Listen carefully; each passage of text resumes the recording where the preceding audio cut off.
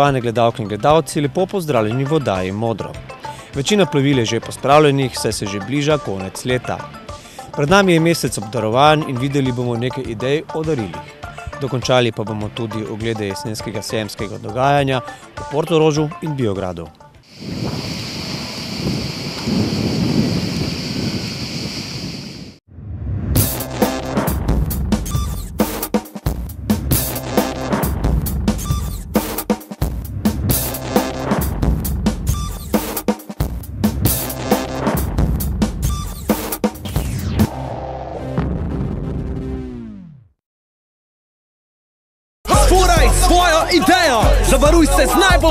Kreativnim paketom za mlade! Vzajemna! Trgovina Lovski mojster. Vse za lov, ribolov, potapljanje in prosti čas. Generalni zastopnik za daljnoglede Steiner, noži Viktor Inox, potopljaška oprema Kresi, Mares in še veliko več. Obiščite nas v kleti Emporiuma, BTC City ali v spletni trgovini www.lovskimojster.com.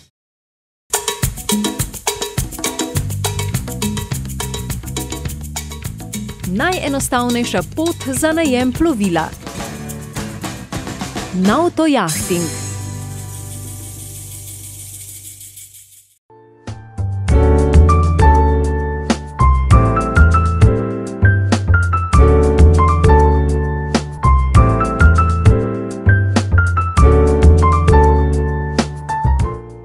Za vas samo najboljša keramika, kopalniška in sanitarna oprema. Salon keramike.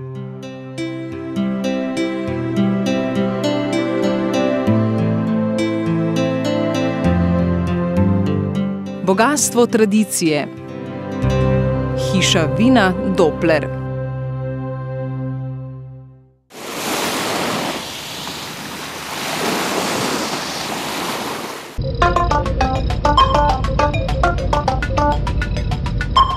Tokrat, tako kot se leto, tudi mi zaključujemo s potepom po Biogradskem Bovčovu. Na Biograd Bovčovu je bilo razstavljenih veliko manjših plovil, od tradicionalnih oblik, glisarjev pa tja do ekstremnih gumonov. Dakle, brodogradilište Allegra, talijansko brodogradilište kojeg predstavljamo tu na sajmu u Biogradu sa novitetom za 2013. godinu.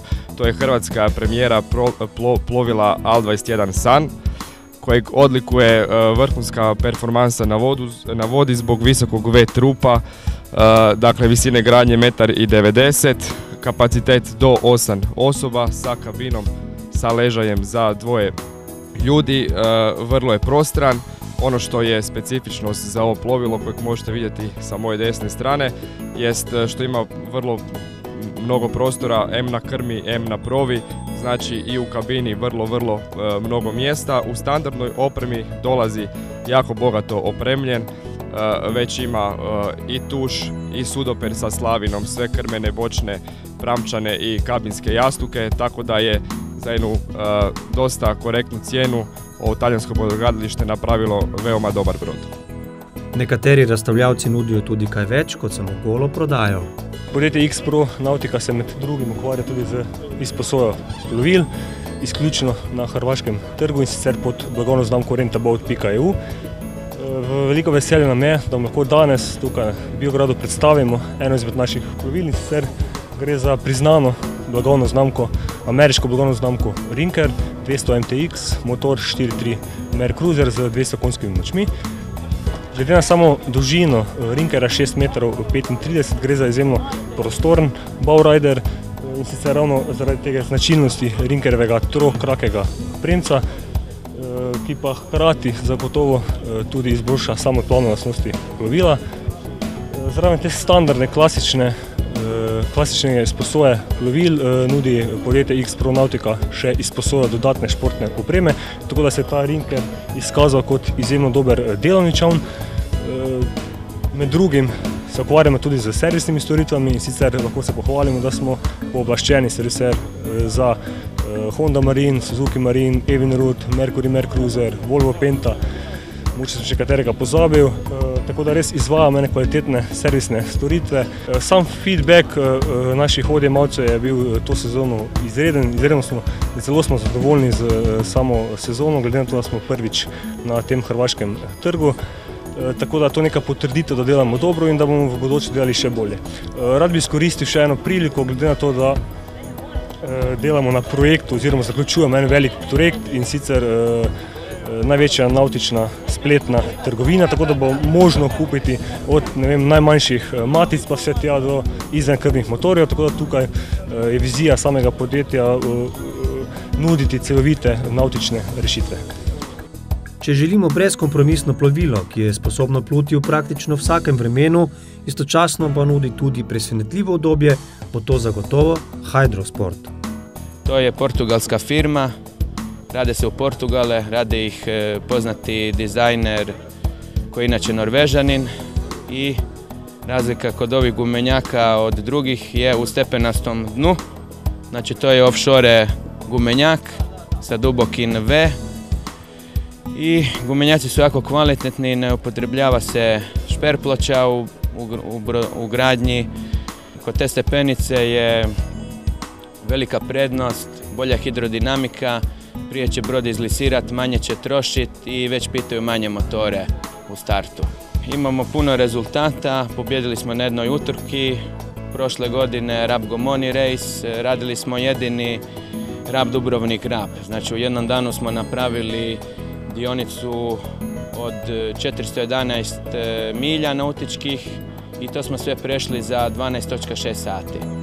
Modeli se rade, najmanji je od 4.80, 646 model, 737 model i najveći je sad 909. Imamo također u ponudi i jedan Fisherman od 5,5 metara. Umenjaci se isključivo rade po narudžbi i možete u startu E, birati veliki odabir boja, znači boje hipolon tubusa, mogu biti dvobojni, može biti gumenjak potpuno crn, potpuno siv, također možete birati u startu veliki izbor isto boja dželkoata i imamo puno izbora konzola, klupa, džoke, sicova, isto su mogućnost odabira gumenjaka u radnim verzijama. I još bih rekao samo hidrosport u par točaka. Manje troši nego konkurencija, pita slabije motore, jako udobni za more, velika upravljivost i to je to. Kar nekaj je bilo tudi prestižnih jaht. Od razkošnih katamaranov in gliserjev, vsekakor pa iz poprečja izstopajo plovila kot so Grand Banks ali Halbeck Rasi. Na tem sejmu Biograd Boat Show imamo tri barke, na eni smo zdaj, to je Grand Banks 52 Evropa, imamo Targo z Jeti, to je finska targa, pilotina, imamo še tretjega Marka Pola.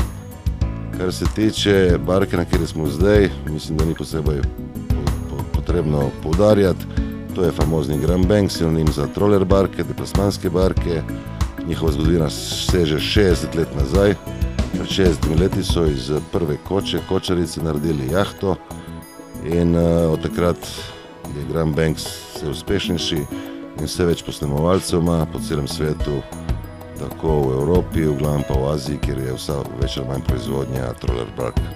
Troller ime izvira iz Skoče, po ameriško oziroma po angliška verzija in eh, ker je Skoče narejena, zato še dan danes vsi po Grand Banks imenujejo vse te počasne barke, deplasmanske trollerje. Barka, na kateri smo zdaj, je verjetno najbolj famozen model, ne zaradi tega, da je bil najbolj prodan, ker to je ipak velika barka, ima oznako 52 fitov, model Evropa. Dolga je preko vsega skoraj 19 metrov, široka pa malo manj kot 5 metrov, težka 40 ton. Ima dva motorja Kaminsa, 550 konjev. In uh, ta barka teoretično lahko naredi 21 vozil maksimalne brzine, kar je nonsens za tako, tak tip barke, ker pol ogromno žre.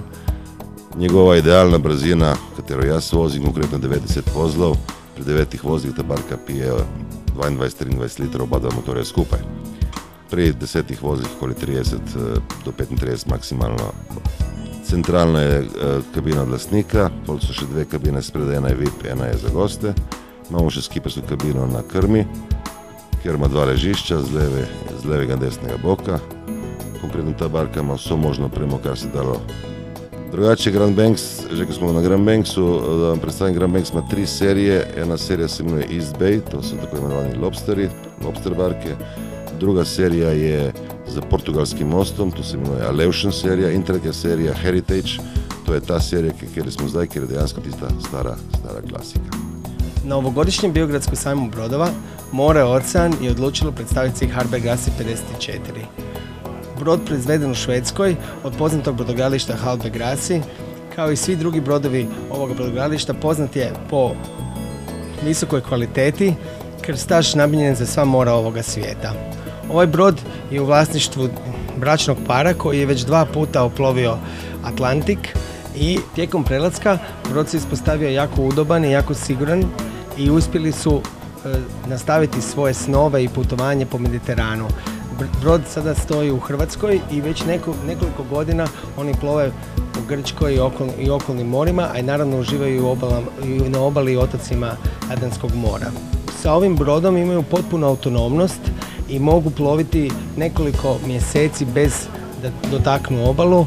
Imaju sve što im je potrebno, tako da imaju potpunu e, komociju i e, ono sve što bi se očekivalo od moderne kuće. U isto vrijeme brod je vrlo dobar sa svojim maritimnim sposobnostima, može jediti po teškim morima i zaštiti svoju postavu tako da dvoje ljudi se osjećaju potpuno udobni na brodu od skoro 17 metara i 26 tona.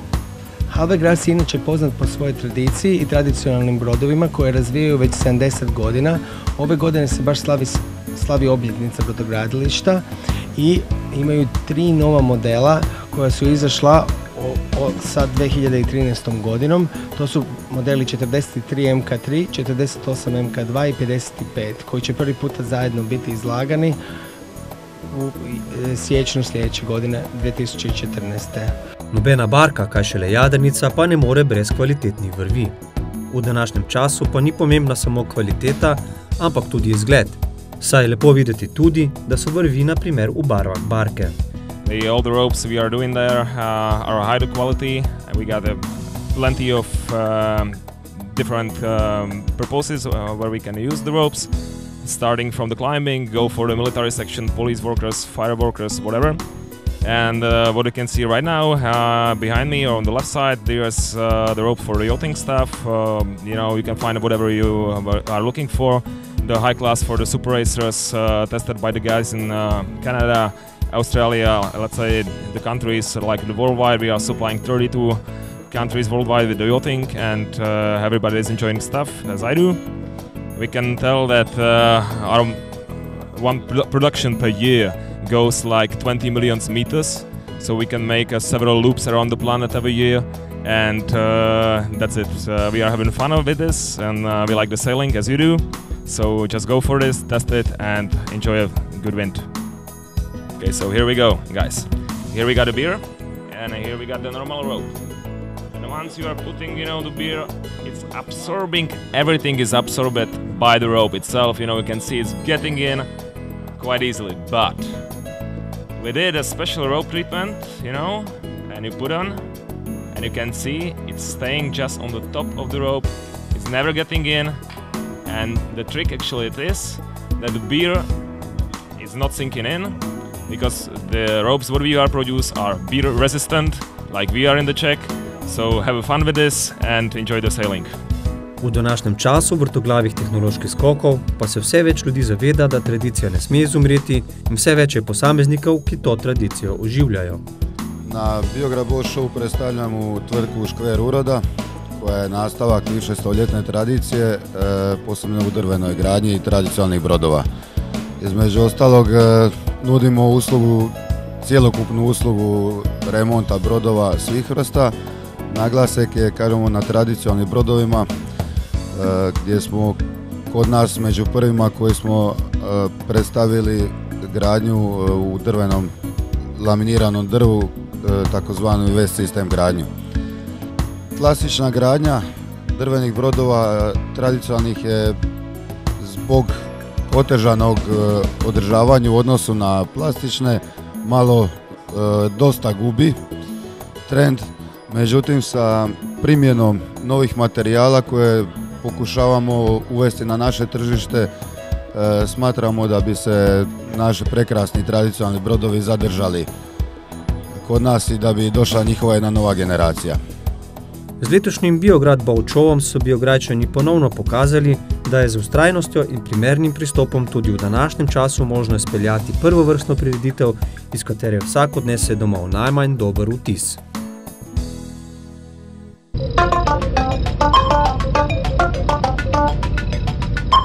Tako kot Biograd bomo končali tudi z ogledom sejma Bonaca, ki svojim optimizmom vliva upanje v prihodnost. Na sejmu Bonaca tokrat v Portorožu je vsekakor izstopala cela soseska prečudovitih modularnih montažnih hišk. Najlepše pa je, da za te hiške ne potrebujemo vseh zahtevnih dovoljenj kot za klasično gradnjo in jih teoretično lahko postavimo praktično povsod. Polimobil mobilne hiše proizvajamo tretjo leto, sedaj v četrti sezoni, kjer smo prisotni na tem tržišču. V štartu smo že pričeli z drugačno prispodobo, zunanjo prispodobo in pa čisto drugačnim pristopom v mobilnih hišah, kakor je bil poznan v vseh teh letih, ko so mobilne hiše razpoznavne na tem tržišču. Zadnje leta se mobilne hiše zelo razširjajo po in so zelo priljubljene, prav zaradi tega smo pa tudi mi naredili drugačnejši pristop k temu in zunanjost še bolj približali klasični gradnji, kakor se tudi vidi tukaj za nami. Oplemenitili smo jo s fasadnim sistemom, se pravi, izgled je zelo podoben kot klasična gradnja, notranjost pa ji ne zaostaja veliko za, za temu. Mi se razlikujemo od ostalih proizvajalcev tudi po sistemu izgradnje sten, se pravi, notranje stene so izdelane iz naravnih materialov, se pravi, lesa, tudi konstrukcija je notranja je lesena, kompletna zgornji del konstrukcije je iz naravnih materialov in smo zelo prilagodljivi tudi izolacijsko. Sami proizvajamo panele, zunanje panele, tako da lahko izolacijo predvidimo od šest do štirideset centimetrov, kjer se lahko prilagaja bilokateremu kraju in bilokateremu vremenu. Seveda smo omejeni s težnostjo snega, kjer ga pa tudi premoščamo z raznimi dodatki, kot so ojačitve, notranje ojačitve z lepljenim lesom in podobno. Imamo tudi več rangov oziroma tudi vej.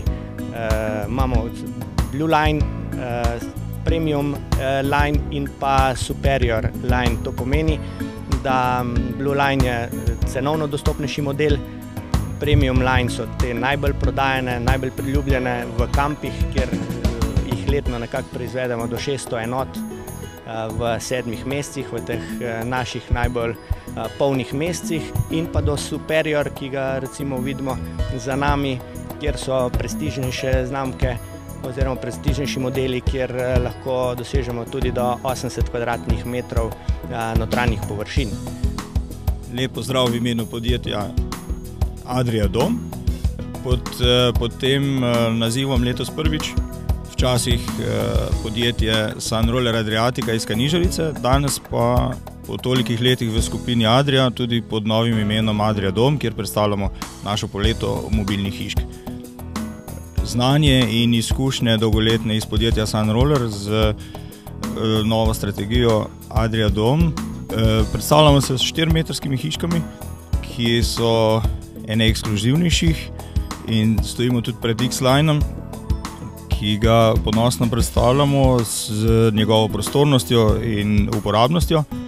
Ravno tako ostale hiške, primerne za bivanje ob morju, ko ste samo korak iz terase do, do, do morja.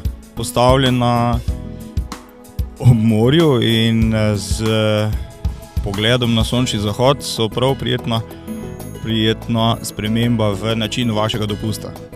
Seveda jo lahko postavite tudi ob v nekje v celini, ob jezeru, nekje v gorah, samo takrat moramo poskrbeti za vaše udobje, dodatno izoliramo, dodatno ogrejemo, tako da so noči kljub mrazu zunaj od znotraj še vedno prijetno tople.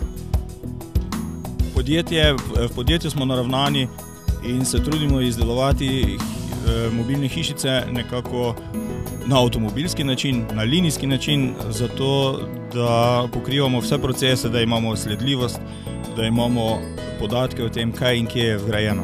Obenem pa se trudimo personalizirati izdelke, tako da lahko pri, da lahko naredimo vsako hišico custom made samo za vas, tako kot ste si to zaželeli vi in tako, kot želite, da se, da se počutite v njej tako, kot ste si vedno želeli. Da je to vaš dom, da v njega vgradite vašo dušo z našo tehnično pomočjo in znanjem. V paleti izdelkov imamo 25 do 30 tlorisov, standardnih, kjer se gotovo najdete. Če pa kljub temu to ne zadostuje vašim eh, željam, naredimo za vas eh, poseben, poseben produkt. Za vse avanturiste, ki si želijo hitrih premikov in lagodnega spanja, so zagotovo najbolj primerni strešni šotori, ki jih lahko postavimo ali pospravimo v eni sami minuti. Kampwerk, nemško podjetje strešnih šotorov za vsa vozila, torej eh, šotor zložljiv v cirka treh minutah, je kot paket na prtljažnem prostoru strehe katerega koli vozila, kot osebno, tovorno, Fiat Punto ali pa Volkswagen Transporter, vse, vse, na vsa vozila to paše. Zloži se kot knjiga s temi loki, v cirka treh minutah je zloženo, praktično je za dva mlada popotnika ali pa dva mlada po srcu, odlično za off-road po Tuniziji, zato da imaš, se voziš skozi sepine, zvečer šotoriš na strehi, enostavno se izvleče in se, se gre spat gor. Ne. Materiali so 450 gramskega blaga, tkanine, samotesnilni sukanci, tako teža tega je 53 do 55 kilogramov. Za dve osebe, možnost je tudi za tri osebe, 165 centimetrov širine, ta je 140, torej je postelja 220 krat 140 ali 220 krat 165. To so strešni šotori, Kampwerk pa drugače proizvaja tudi šotore za na tovorne prikolice, v kolikor imate doma tovorno prikolico, lahko kupite modul, ki ga nasadite na tovorno prikolico in na podoben princip razširite šotor v bivalni prostor. Kampwerk šotori imajo vsi mreže proti komarjem, mrčesu, lahko si jih popolnoma zapremo, ima razne žepe za razne odlagalne površine, odprtine na vseh štirih straneh, vsi imajo nastreške, nadstreške, tako da v kolikor bi padal dež, imate lahko odprto pa vam ne bo curljalo noter. Prostor pa dovolj velik za dve osebi. Turistični delavci se vse bolj zavedajo, kako pomembna je pripadnost okolju, ki ga ponujajo. Rojevajo se različni brendi, za katerimi pa se skrivajo zgodbe, ki jim dajejo vrednost. Srce Slovenije je geografsko zaokroženo območje z središčno točko na Geosu na Vačah pri Litiji in nekako v radiju petdesetih kilometrov naokoli je turistično prepoznavno že nekaj let. V letu dva tisoč dvanajst je bila izdana prva karavaning karta po srcu Slovenije, in sicer v slovenskem jeziku. v teh dneh pa smo izdali tudi angleško, nemško in italijansko verzijo. Na teh kartah gost dobi kontaktne podatke od lokacije točke, telefonske številke, maila, web strani in potem tudi kratek opis, za kakšnega ponudnika gre. Ali je to ponudnik lokalne hrane, lokalnih proizvodov ali kakšne rekreativne, sprostitvene dejavnosti. Karte bodo na voljo na turističnih točkah v območju srca Slovenije in kampih po Sloveniji, kjer se zaustavljajo avtodomarji, tako da bojo lahko tudi tuji turisti našli pot v srce Slovenije, kjer bodo doživeli nekaj posebnega. Največje združenje ljubiteljev kampiranja v Sloveniji je Karavaning klub Slovenija, ki ima poleg svojega osnovnega poslanstva tudi humanitarno noto. Člani našega združenja oziroma našega kluba, Karavaning kluba Slovenije, imajo ob včlanitvi neke določene ugodnosti. To so popusti v kampih doma in po svetu, ker smo člani mednarodnega združenja FIC, to je Združenje avtodomarskih klubov Evrope, in je minimalni popust po teh kampih deset do petnajst evrov. Namen je najbolj spoznavati domovino našo, ki je čudovita, hodimo v tujino, hodimo povsod, domačih krajev ne poznamo. ena teh priložnosti za spoznavanje našega dela in naših eh, načrtov je bil ravno ta sejem Bonaca, eh, kjer so nam ljubeznivi prireditelji odredili tudi čudovit prostor za kampiranje, z vso infrastrukturo, lahko rečemo za prvič odlično, pohvalno, upam, da bo tu postala tudi destinacija za slovenske avtodomarje. E, tisti, ki se pa ukvarjamo oziroma ki smo lastniki avtodomov, se najdemo na spletnih straneh Karavanin kluba Slovenije in ljubeznivih oddaj, kot je ta, kateri zdaj predstavljam dejavnost in se zahvaljujem organizatorjem za to prijetno povabilo in mislim, da bo ta sejem počasi dobil neko svoje mesto, zato ker je umeščen v enem čudovitem okolju in mislimo, da se bo tu samo nadgrajevalo. Ne. Seveda pa ne gre spregledati ubujanja tradicionalne gradnje lesenih bark, še posebej, če se tako zahtevnega projekta samostojno loti en sam dijak srednje pomorske šole. Um, za mano je jadrnica Kasiopeja, mogoče zaenkrat še ne zgleda kot jadrnica, ampak bo v bližnji prihodnosti hitro podobno neki jadrnici. No. Um, gre se za moj projekt in sicer dvojambornico, ki bo nekako tudi prva šolska jadrnica. Pri projektu me podpira šola, seveda starši, podjetje Sive in še razni manjši sponzori. Um, za gradno sem se odločil nekako, ker so mi od zmeraj všeč lesene in klasične jadrnice, tako da ni bilo druge kot narediti svojo.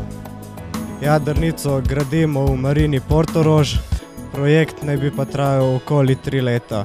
Ko bo barka končana, se jo bo uporabljalo za promocijo šole, za razne športne dneve in seveda je en mojih največjih ciljev odplut z do Grčije.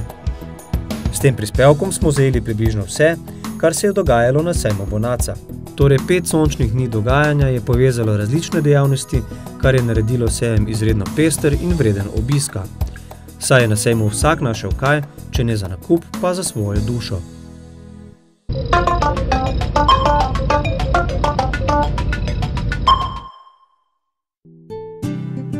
Izbira deril za ljubitelje morja, ribolova, potapljanja in vodnih športov je zelo raznolika tako po namenu uporabe kot tudi ceni.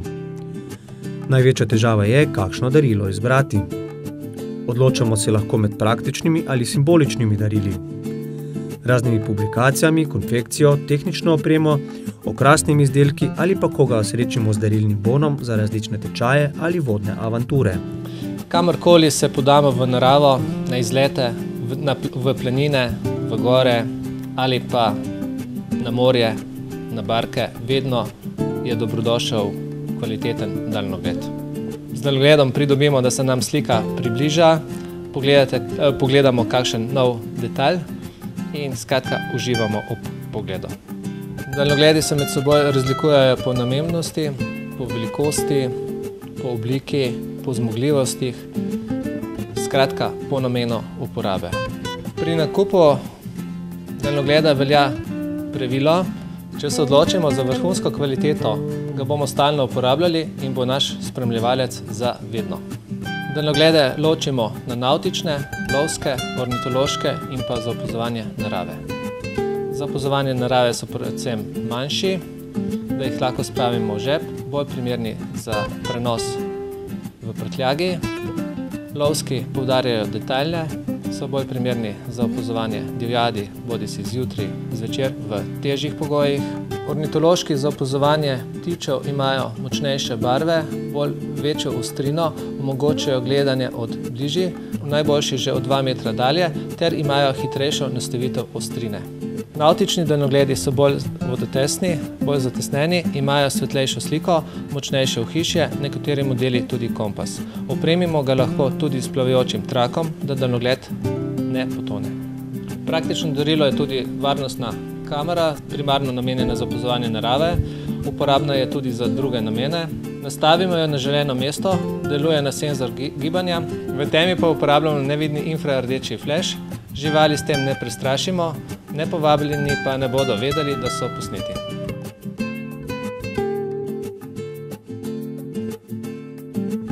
Vsak ribič bo vesel knjige s trnkom z Jadranske obale, katera je narejena v treh delih.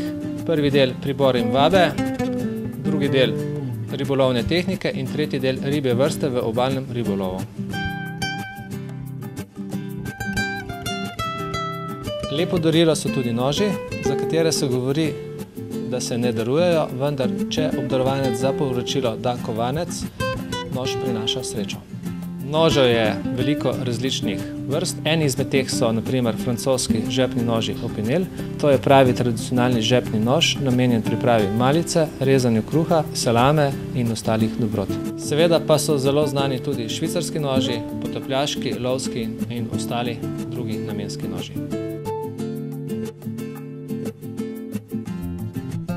Lovce pa v tem zimskem času lahko razveselimo z podloženimi toplimi gumijastimi škornji in toplimi zimskimi oblačili.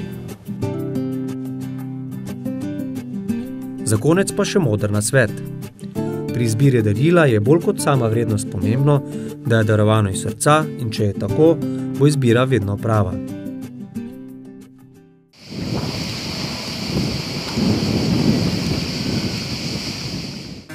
Motonautika, vse na enem mestu, prodaja rezervnih delih in servis za vse znamke vodnih skuterjev, izmekrnih motorjev, gumenjakov, dodatna oprema za plovila, tur vse za vodne športe.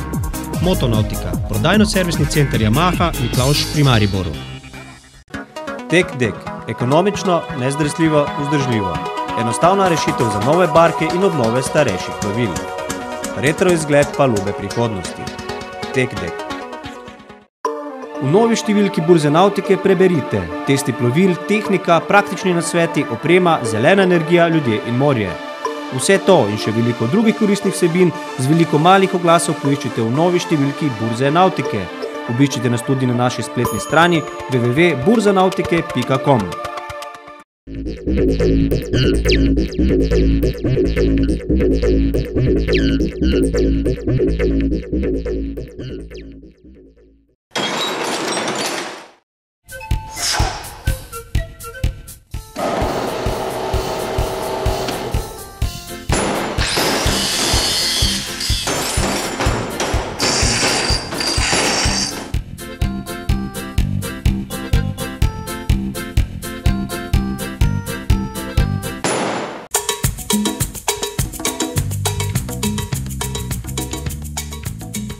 Najenostavnejša pot za najem plovila.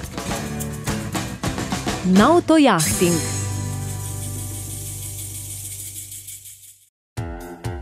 Vse, kar potrebujete za nautiko, na enem mestu. Nautika Cizej, Maribor.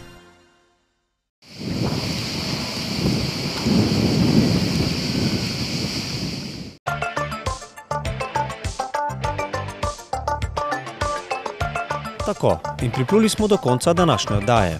Če niste uspeli videti v celoti, si lahko kadarkoli ogledate na YouTubovem kanalu TVH2O ali na modro.vpn.tv. V več nautičnih vsebinah pa lahko uživate v prvem slovenskem programu za turizem in prosti čas TVH2O. Če ga še nimate med svojimi televizijskimi programi, se posvetujte svojim operaterjem in nas obiščite na www.tvh2o.tv. Želim vam mirno morje in dober veter do prihodnič.